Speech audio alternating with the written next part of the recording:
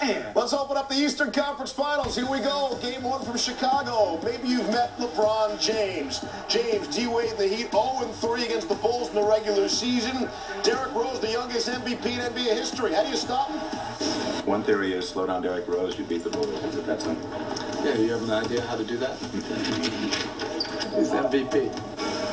Well, one way, maybe to stop him, some pregame jitters early on in the game. Rose would struggle, doubled off the screen, then picked off by LeBron James. Yeah, this kind of happens when you press a little bit too much. He's excited about having the Eastern Conference Finals back at home. He's a Chicago kid making some ill-advised plays right now, and he needs to settle down. LeBron taking advantage. There, Joel Anthony on the steal. Rose turned it over three times in the first five minutes of the game. And here's LeBron to Chris Bosh. Chris Bosh, a big beneficiary of LeBron Dwyane on the floor because they create so much attention. He's able to get into the act. CJ Watson in transition feeds Taj Gibson. That doesn't happen to D Wade too often. No, it does not. He got sucked in and got into a place where he just couldn't get out of the way. And I'm sure he's going to hear about this from a lot of folks in Chicago. Wade's a Chicago guy too. This this is flat out embarrassing for him.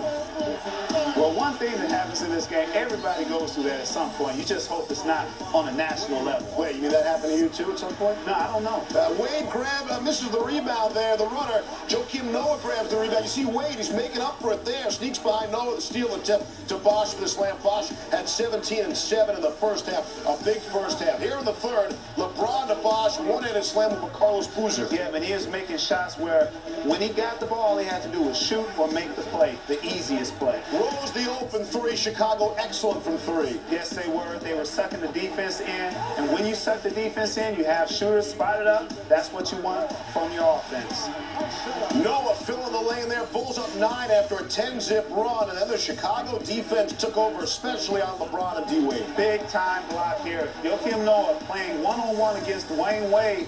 He gets to the middle and he's still able to block his shot and leads to a fast break situation. Well, Dan got himself a very nice game. Yes, he did. He applied the pressure on LeBron all night. He didn't allow LeBron to rest or relax at any moment of the game. LeBron putting it on the floor, then Gibson the block there. Yes, the long athletic bigs that the Chicago Bulls have is a key component to why their defense ranked number one in the NBA. LeBron and Wade held to 33. They're lucky to have Chris Bosh. Early in the fourth, Gibson finds Omer Asik for the slam, the foul Bulls up 11.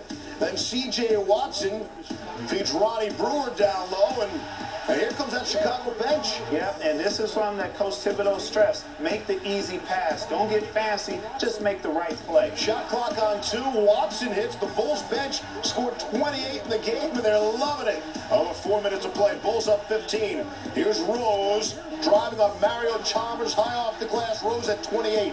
That was special because he saw the help coming over way before he took his shot. And that's the thing. He has great vision, and he understands when to put up his shot. How about that by Gibson? Exclamation point. Yes, it is. There's a great restaurant in Chicago. I heard from two valuable sports members here, and I'm sure he should get a filet mignon for that.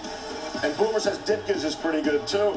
Rose loves it. The Bulls win 103-82. Chicago draws first blood in the NBA's Eastern Conference Final. Chicago on a 10-zip run midway through the third, then pulled away in the fourth. Game two Wednesday night back in Chicago.